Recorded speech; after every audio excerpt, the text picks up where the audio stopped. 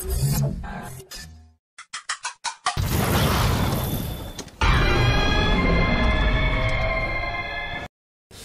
warahmatullahi wabarakatuh. Halo teman-teman, kembali lagi bersama Han7 Sebuah channel yang selalu memberikan informasi-informasi penting mengenai game Monster Hunter. Dan pada video kali ini kita akan bahas lebih dalam mengenai sistem baru di MRS ini yaitu Rampage Jadi sebelum nonton jangan lupa like dulu dan subscribe jika kalian anggap bagus dan tinggalkan komen gimana pendapat kalian mengenai hal baru ini Baik langsung saja ke topik utamanya ya Yang pertama adalah Rampage itu merupakan special quest di mana kita para hunter ditugaskan untuk mempertahankan desa Kamura dari serangan gerombolan monster. Quest ini bisa solo, bisa juga multiplayer. Tapi lebih baik multiplayer karena pasti lebih seru atau kalau kalian yang suka tantangan boleh dicoba solo. Karena Ichinose sendiri yang bilang pada saat Q&A kemarin kalau Rampage ini soloable. Karena ada juga subquestnya.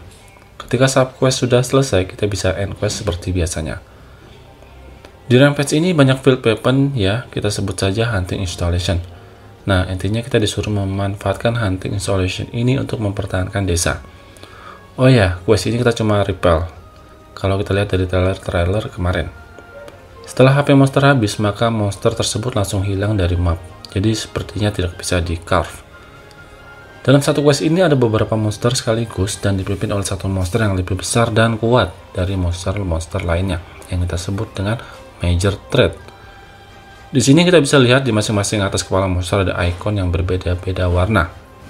Icon warna biru berarti monsternya fokus menyerang barikade. Icon warna merah berarti monsternya menjadi sangat agresif. Icon warna hijau berarti monsternya bisa menyerang dari jarak jauh. Yang kedua ada state of battle. Jadi di sini ada benteng yang harus kita pertahankan. Quest akan gagal jika benteng hancur. Sedikit cerita mengenai Rampage, Desa Kamura ini sempat hampir punah gara-gara rampage 50 tahun lalu. Jadi untuk mencegah hal tersebut terjadi lagi, para penduduk desa mengumpulkan semua pengetahuan teknologi mereka untuk mengembangkan benteng agar menjadi lebih kuat. Dan di Rampage ini kita juga nanti tidak hunting sendiri, mau solo ataupun party nanti akan dibantu sama para NPC penduduk dari desa Kamura. Yang ketiga ada Various Hunting Installation. Nah, di sini kita bersama teman-teman party kita bisa mempersiapkan dulu hunting installationnya sebelum kedatangan gerombolan monster tadi. Jadi pas monster datang sudah ada beberapa hunting installation yang siap digunakan. Manfaatkan waktu singkat ini untuk mempersiapkan hunting installation di setiap penjuru benteng.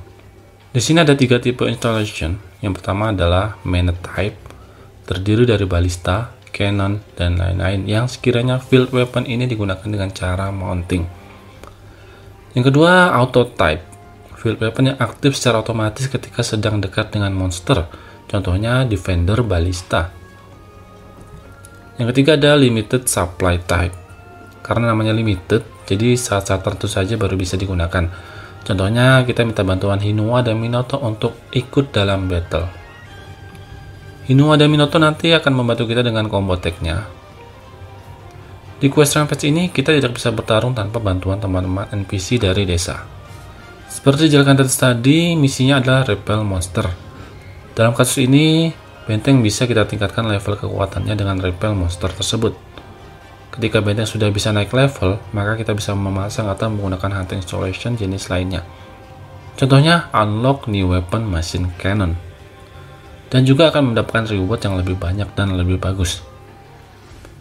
Jadi di sini juga ada beberapa hunting installation yang sangat kuat seperti Dragonator dan Splitting Weapon Suit.